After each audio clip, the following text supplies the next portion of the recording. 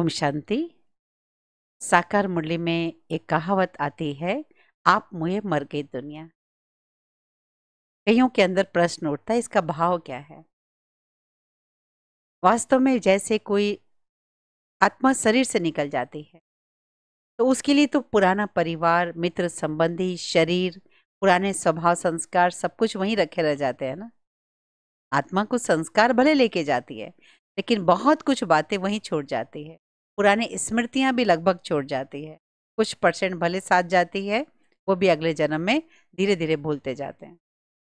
तो उसके लिए सारे मित्र, संबंधी आदि सब खत्म हो गए। उसके लिए दुनिया ही खत्म हो चुकी होती है। नया जन्म लेके उस परिवार वालों को धीरे धीरे पहचानता है और उस माहौल में ढलता है। ये एक एग्ज़ाम्पल है। बाबा कहते, तुम्हें जीते जी, इस दुनिया से मरना है। यानी अपने पुराने स्वभाव संस्कार जो देह अभिमान के कारण अवगुण में बदल गए थे, वो अवगुणों को भूलो। आप ईश्वर के बने हो, ये आपका अलौकिक जीवन है तो ईश्वर की संतान होने के नाते अपने आप को ईश्वरीय कुल का समझो तो ईश्वरीय गुण डेवलप होंगे।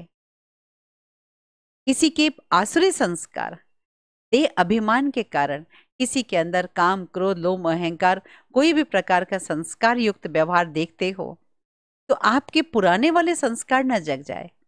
टीट फॉर टैट जैसे के साथ तैसा करने की वृत्ति न जग जाए, क्योंकि आप तो ईश्वर के बन चुके हो ना।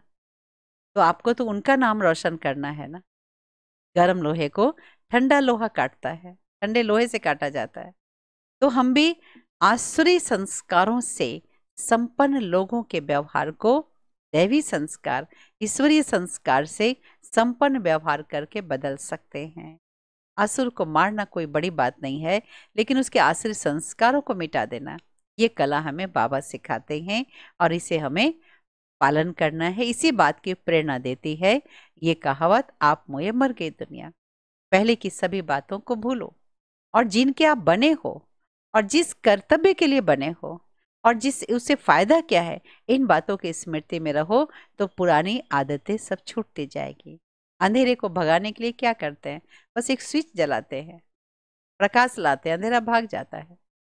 तो क्या करना है? उस पर ध्यान दो तो अवगुण अपने आप हटते जाएँगे। बहुत अच्छी इसकी मीनिंग है और इसलिए बाबा इसके बारे में बार बार चर्चा करें। ओम शांति।